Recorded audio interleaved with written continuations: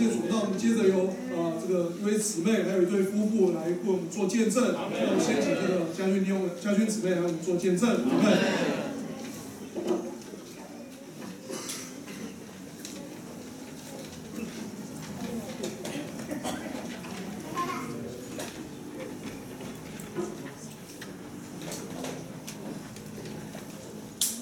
愿你们喜乐，祝福家兄姊妹，从小就在教会生活里长大。嗯，其实小的时候，我常常会在想，什么东西会存到永远，甚至也会因为自己会慢慢的长大，甚至变老而感到很懊恼。嗯但长大之后才发现，原来就是因为我里面有追求永远的感觉。嗯，这世上没有东西会存到永久，只有这位神是会存到永远的。嗯跟大家分享一点在求学生活里的对主的经历。我在考大学那一年，因为要预备考试，所以常常来到主日聚会的时候，就是播完饼就走了。一部分是因为要去读书，一部分是觉得聚会很。久而久之就习惯了这种的聚会模式，也鲜少与弟兄姊妹有来往接触。大部分的时间呢，都是花在读书上。但其实我常常觉得很空虚。但直到考完试之后，没有其他的理由我可以拒绝这个聚会的邀请，所以我就又重新回到聚会里面。但一开始我回来的时候会觉得有点害怕，因为很久没有出现，感觉这里已经不再是属于我的地方。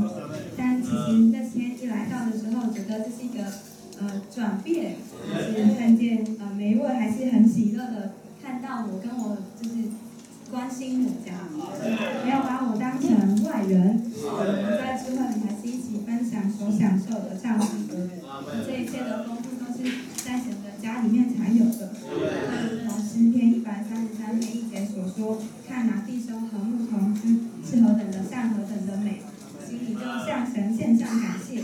我花许多的时间在追求课业可以得到满足，但我所需要的供应其实都在神的家里。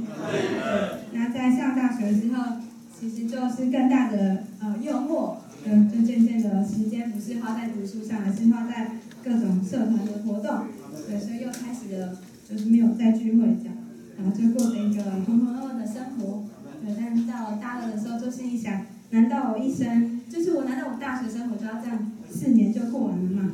所以就是就决定要去申请这个转学考试。那在准备的过程其实很彷彷徨，也很无助，因为大部分的时间我都拿出去跟同学玩，或者是在花在这个社团的事上，所以我对自己没有任何一点把握。我能做的一件事情就是不断的向主耶稣祷告。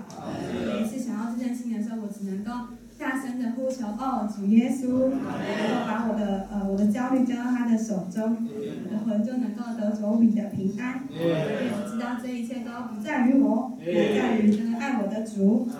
所以渐渐的，我的时间呢，不再是花在读书，也不是娱乐，而是更多的与主祷告，并与一起享受从神话来的供应。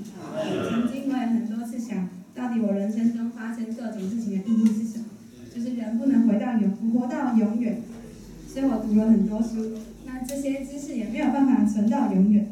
所以每知道我这个，虽然我没有很，呃，就我还还年轻，但我想到我的人生中发生的每一件大事，我才发现这都是主让我学习转向他的机会。我有与交通的经历是可以存到永远的，因为这位神是永远的神。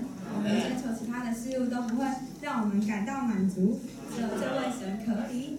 所以想跟大家分享《传道书》三章十一节所说：“神造万物，各按其时成为美好，又将永远安置在人的心里。”我们喜欢很喜欢这处经节，其实神所栽种历世代以来就在运行的一种要有目的的感觉，就是日光之下除神以外，没有别人可以满足这种感觉。